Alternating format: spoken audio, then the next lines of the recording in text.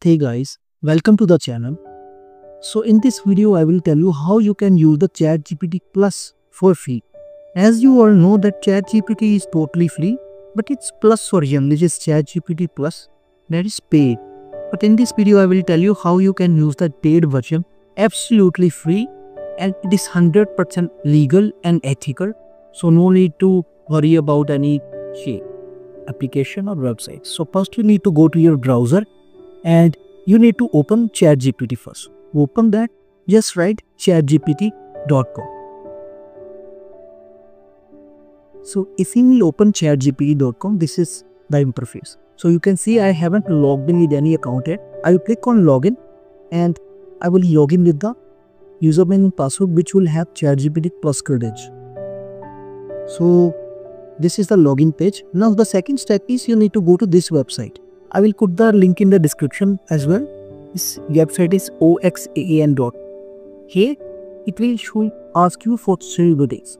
Just write any name. I will simply write any name. Don't worry, it will not ask for any verification or OTP or anything.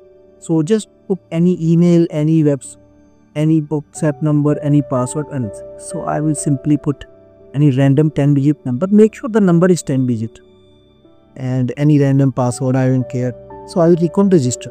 Once click on register, it will give you the username and password for that account which will have ChatGPT. I will simply copy the email and I will paste it over the ChatGPT website and click on continue to the password and do the same thing. Password is already there. So I will copy this password as well and I'll paste the password here and click on continue.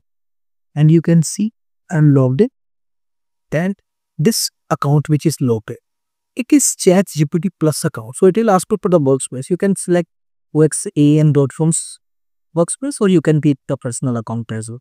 So it is a totally your choice. Here i am going to use it for my personal use. So i will click on personal account. So this is that's it guys.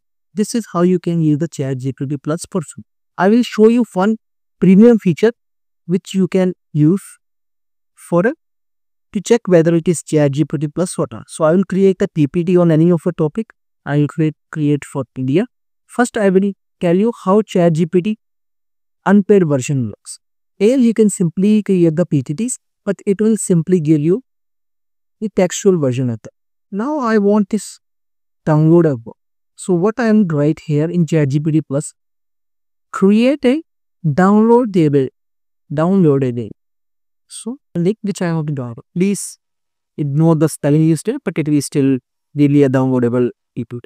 So here you can see it is analyzing and what it will do is it will create a PPT which I can directly download and open in my PowerPoint also. So this is a paid version but you can download it for sure. So click on this and you can see the PPT is downloading. I will show you opening a web.